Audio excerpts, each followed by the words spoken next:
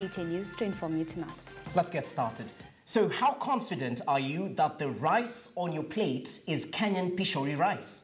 Well, some traders in Mwea say there is a likelihood that it is not. They're complaining about the high importation of rice at the expense of local farmers and traders. They claim that some rice is sprayed to dupe consumers that it is Kenyan Pishori rice. Ibrahim Karanja begins our comprehensive news coverage tonight with this story.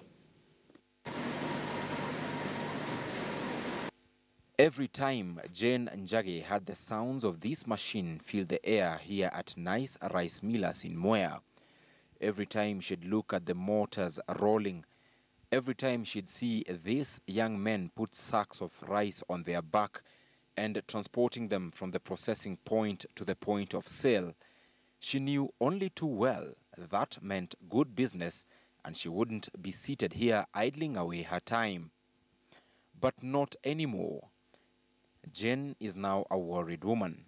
Many other business people expressing the same sentiments. Hapo kitambo tulikuwa na customer wengi sana, lakini sasa unakuta customer wengi wanalilai na kununua hiyo mchele ya nje sababu inakuwa cheap.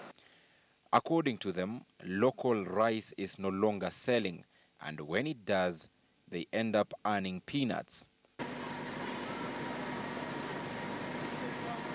Their greatest enemy, they say, is a group of unscrupulous business people who allegedly import rice, threatening their businesses. Ye, saa hii hatuna customers wengi sana kwa sababu hatunjanjua hasa ni nini, but tu, tunasikia mchele ya nje inakunja mingi na ina affect sisi kama wakulima pia na watu wa, wa kumil mchele tunakuwa affected. Lakini ile, ile mchele inatoka nje ndio inatuharibia bei.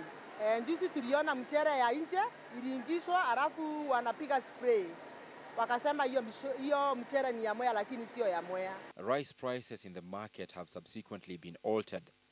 The produce, they say, no longer earns them a decent amount to settle the cost of production and make profits. Mchele kwa kilo moja 130 na hiyo ingine ni chini ya mia. Kwa hivyo mtu wa kukula yule anjui mbishori vizuri atanunua hiyo ya bei rahisi, na hiyo inafanya hii mchele haina market, hatuna customers. Fertilizer tumenunua sawa, So days in Mwea and other rice growing areas in the region are quickly becoming longer, with despair first becoming synonymous with these people. Ibrahim Karanja, KTN News. I think I'm terrified of rice now. Well, it's definitely something we'll have to delve deeper later on, but many thanks, Ibrahim Karanja.